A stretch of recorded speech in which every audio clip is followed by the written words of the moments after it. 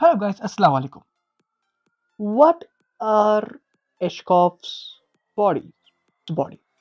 Aschoff's body is one of the main diagnostic features in rheumatic heart disease.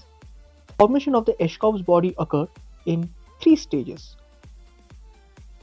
So guys, stage 1 that's called as early stage and it's also called as degenerative stage.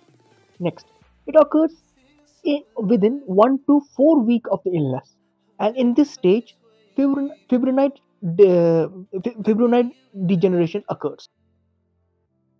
Stage 2 is also called as intermediate stage or it is called as the proliferative stage.